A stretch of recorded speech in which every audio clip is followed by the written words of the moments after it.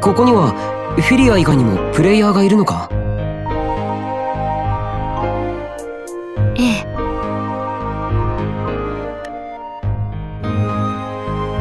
え。でも少しおかしなところがあるというか。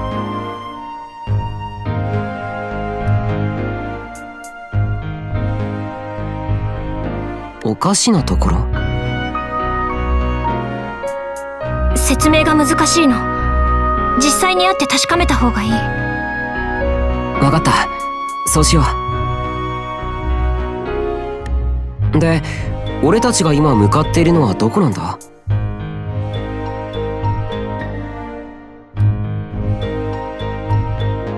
ほらあそこに見えるでしょ？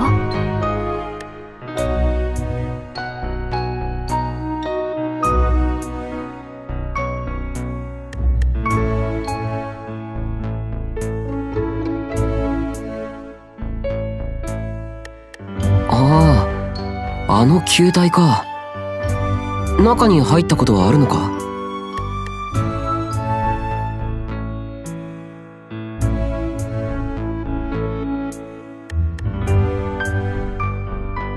いいえ入れないの。でもあんたがいれば入れる気がする。その文様と同じものが描かれていたから。文様が浮かんできたのはスカルリーパーを倒したことがきっかけのようだけど。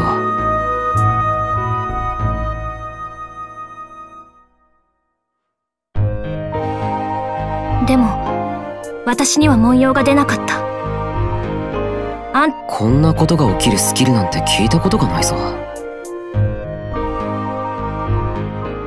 規定の時間に達しました。これより適正テストを開始します。いいきなり何？なんだこのアナウンスは規定の時間？適正テスト？おいフィリア。これ。私に聞かれても困る。適正テストとか言ってたよな。私も確かにそう聞こえた。なんだか知らないけど面白いじゃないか。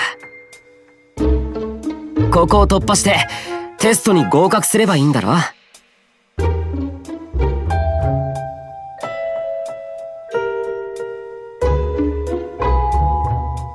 あんたこんな時によくそんな前向きになれるわねこの状況でテストとやらを回避できると思うか？それに未知のフィールドにはやっぱりワクワクしちゃうんだよな。どうやらお人よしじゃなくてバカの方だったみたい。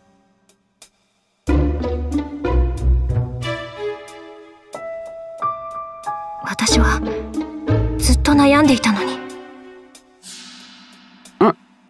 なんか言ったか？何でも。とはいえ俺はこのエリアについて何の情報も持っていない。フィリアとりあえず周辺エリアで今まで戦った敵のデータを全部くれないか。それと状態異常やトラップなんかの傾向も。分かったから一度にいろいろ聞かないで分かんなくなる